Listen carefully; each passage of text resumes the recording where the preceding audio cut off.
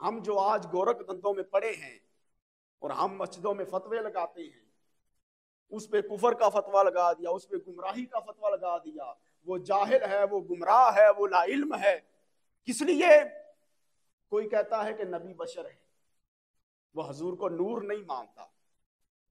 जो कहते हैं कि नहीं, नबी नूर है, वो अपनी जहालत की बिना पे ये कहते हैं कि नहीं, नबी बशर नहीं है। तो ये दोनों ही गलत हैं। ये दोनों ही गलत हैं। हजूर बशर भी हैं, हजूर नूर भी हैं। ये अकीदा है। हजूर के बशर होने का ज़िक्र कुरान मजीद में है। तो अगर हजूर की बशरियत का इनकार करेंगे तो हम तो दायरा कुफर में चले जाएँगे। हाँ हजूर बशर हैं, लेकिन बशरियत पर रट ना लगाएँ। बशरियत पर रट ना लगाएँ कि बशर ही है। सुना आपने, हजूर बशर हैं, लेकिन बशर ही हैं, ये गलत है। हजूर बशर हैं, लेकिन बशर ही हैं, ये जो ही है ना, इसे निकाल दे। मुस्तफ़ा बशर हैं, लेकिन बशरियत के साथ मुस्तफ़ा नूर भी हैं। नूरानियत भी मुस्तफ़ा का ही जुज है। नूर भी है मुस्तफ़ा, बशर भी हैं। अब इन झगड़ों से निकल जाएँ। जब मेराज की बात करते हैं ना तो फिर पता चलता है जिस गोरख दंतों में हम पड़े हैं कि मुस्तफ़ा बशर हैं, वो कहते नहीं, बशर नहीं, वो नूर हैं। बाबा, मुस्तफ़ा इससे भी ऊपर की बात है। क्यों? अगर मुस्तफ़ा सिर्फ़ बशर होते तो बशरियत तो रुक गई थी सिद्र, वो मस्जिद अक्सा में। बशरियत रुक गई थी मस्जिद अक्सा में। बशरियत नीचे रह गई। अब जो सिदरतुल का सफ़र किया था, उसमें बशरियत नहीं थी। जिब्राइल नूर थे। वो नूरी बुराक आया था जन्नती। उसके साथ मुस्तफ़ा फिर बशरियत नीचे रह गई। अपने उस नूरानी कमाल के साथ गए थे। नूरानी कमाल के साथ।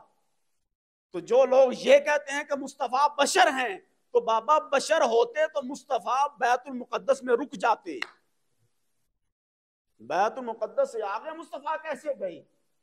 तो पता चला, बशर तो हैं, लेकिन मुस्तफ़ा जो बैतुल मुकद्दस से आगे सीरतुल मुंतहा तक गए, वो अपने नूर के साथ गए थे। बशर वाले भी एक साइड पे हो गए। नहीं जी, बशर होते तो रुक जाते। अब हजूर ऊपर गए तो पता चला, हजूर नूर हैं, बशर भी हैं, नूर हैं।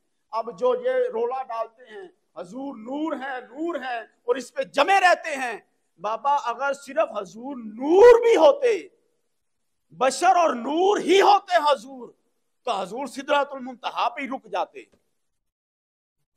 वो जिबरील नूर था। जिबरील नूर था, सिदरातुल पे रुक गया था। और नूर की ज़रूरत नहीं थी कि सिदरातुल मुंतहा से आगे जाए। जो हजूर सिदरतुल्मुंतहा तक गए, वो अपनी नूरानी सूरत में गए, उस नूरानी कुवत के साथ गए, नूर के साथ। और सिदरतुल्मुंतहा पे बैतुल में बशरियत भी रुक गई। सिदरतुल्मुंतहा पे नूरानियत का भी इख्तिताम हो गया। जबरील रुक गया, बुराक रुक गया। सिदरतुल्मुंतहा से आगे जो अरश मुअल्ला पे गए फकाना का बकौसैनी अदना का सफ़र तय किया। वह हजूर ने अपनी हकीकत के साथ किया था।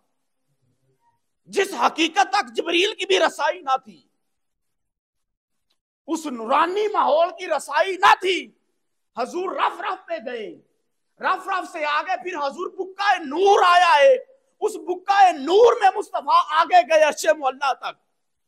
वहाँ बशरियत ना थी, नुरानियत ना थी वहाँ मुस्तफ़ा अपनी हकीकत के साथ गए थे। और उस हकीकत को जानो। बशरियत और नूरानियत के रोलों में ना पड़े रहो। मुस्तफ़ा की हकीकत की बात करो कि मुस्तफ़ा की हकीकत क्या है? वो क्या हकीकत थी जिसके साथ मुस्तफ़ा रब से मुलाकात के लिए चले गए थे? वो हकीकत क्या थी?